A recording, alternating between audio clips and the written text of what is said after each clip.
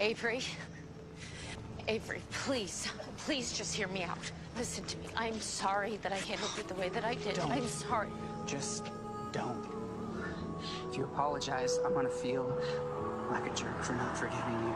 And then if I do forgive you, you're just you're just gonna break my heart all over again, and I can't handle that. I won't.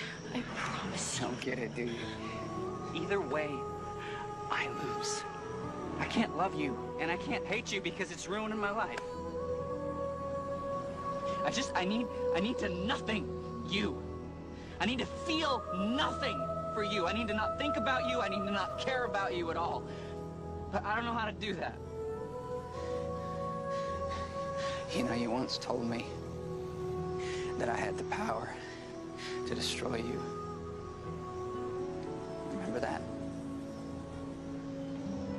It was you. It was always you, Juliette. You're the one that destroys people. I wish I'd never met you.